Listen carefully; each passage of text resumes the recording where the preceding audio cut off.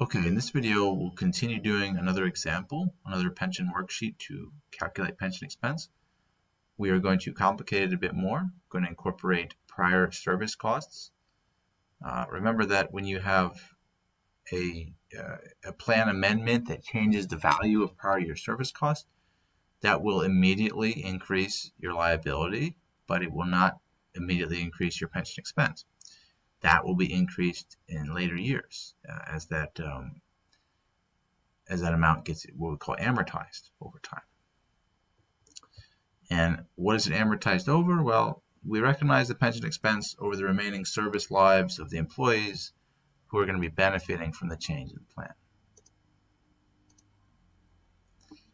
Okay, and the the, um, the FASB prefers a years of service method, and we will uh, discuss how that works. Okay, let's look at Rydell Corporation. Got a set of information here. Here's their projected benefit obligation uh, before their plan amendment. And then we have on January 1st, Rydell Corporation, through their plan amendment, grants prior service benefits having a present value of $120,000. Uh, the, they also give you all the information that you're going to need. You know, they give you the plan assets. They give you the pension liability, but you don't really need that, right? You can just figure that out by doing the uh, the PBO minus the plan assets, of course. They give you the settlement rate of 9%, the service costs, the contributions, how much money has the firm contributed to this plan during the year, We've got the return on plan assets. Again, for right now, for this example, we're going to keep it simple. We're going to say the actual and, and expected return are exactly the same. And they're going to give you the information about the benefits paid out to people who are already retired. And okay, here's the extra detail, which makes this one a little more complicated then. The prior year service cost amortization for this year is $17,000. Where is that from? That's from something in the past that happened, maybe a previous amendment, uh, and that is now being amortized for this year. So however it came about, the instructions tell you 17,000 is being amortized this year. Let's let's jump into our worksheet. So here's what we're going to do. Here's how the worksheet starts. At the uh, okay, this says December 31st. That's strange. This should either say January 1st, 2014 or December 31st, 2013. I'm going to go ahead and change it to January 1st. Yeah. At any rate, that is your beginning balance in your PBO and your plan assets. And you do the math, your PBO is greater than your plan assets by 13,800. So you have a pension liability at the moment. The first thing you're going to have to do when you have one of these problems with an amendment is you got to do the amendment first. You have to. So that amendment immediately increases your liability. And that is affected immediately. See, we're going to add that up right away. So we credit PBO for 120. We don't debit pension expense. Again, this is something that will be amortized slowly over time. So we debit prior year service cost of 120,000. That is a part of other comprehensive income is what that is. You guys may have to review that other comprehensive income. So that'll sit on your balance sheet in accumulated other comprehensive income. Kind of a purgatory of the accounting world, kind of in between. Okay, but that's the important thing is you do first, and you'll see why that is. So service costs, they give you the service costs. Uh, service costs are going to increase your future obligation, and they're also going to increase your pension expense. And the number they gave you is 58. Interest costs. So here is why you have to do the plan amendment first. In this case, the plan amendment is done on January 1st. It'll almost always be done that way if they give you an accounting problem from uh, you know the textbook. So they said the settlement rate is, I believe, 9%. You're going to take 9%, not of 560 though. You're going to take 9% of the 680. Okay. Times nine. I don't know why it does that. Sometimes this thing uh, just doesn't write correctly. It just draws lines like that.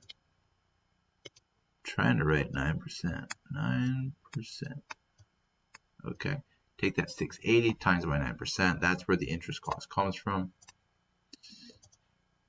The asset return. So you had a positive return. Uh, again, this is simplified, but say your expected and your actual were the same.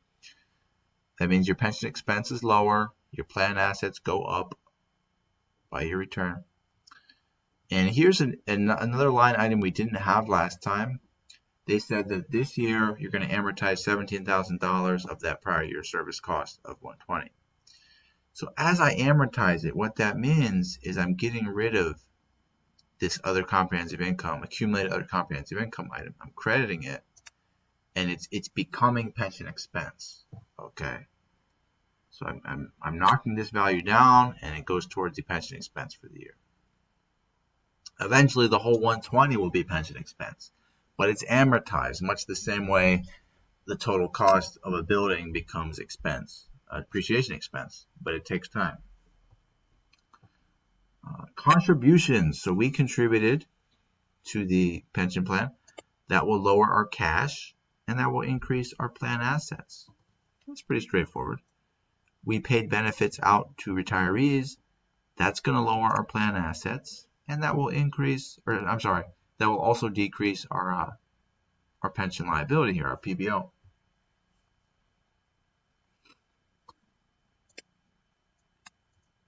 what we do at this point, we've got every item we need.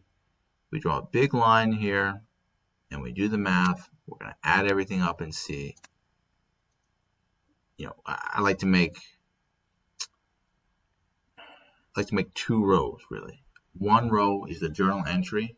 This is the change in all the accounts for the period, right? That's what journal entries are, right? This is a change in an account over the period.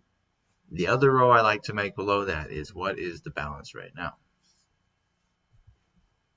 Okay.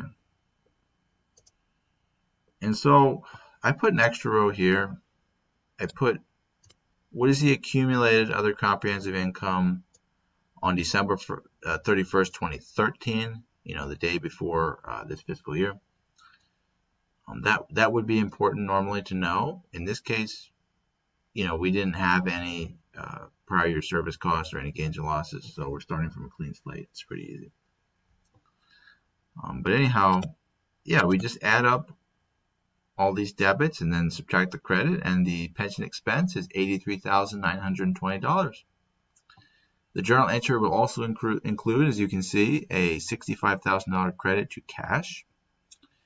And we'll be debiting the other comprehensive income prior year service costs for 103,000. Because remember, at the beginning of the year, we debited it for 120 and then we credited it for 17. How do we get this number? Well, again, we have to do the math on the right-hand side and say, okay, my PBO at the end of the year is 759,200. My plan assets are 623,480 move my face. Move it up here. And so the difference between those two numbers is 135, 720. That is going to be our pension liability at the end of the year. We started out at, at this number here. We ended up at 135, 720. So the difference there, the journal entry, 121 920 credit. Pension liability. So there's the journal entry. Okay oops let me go back sorry. And that is that. Hope you enjoyed the video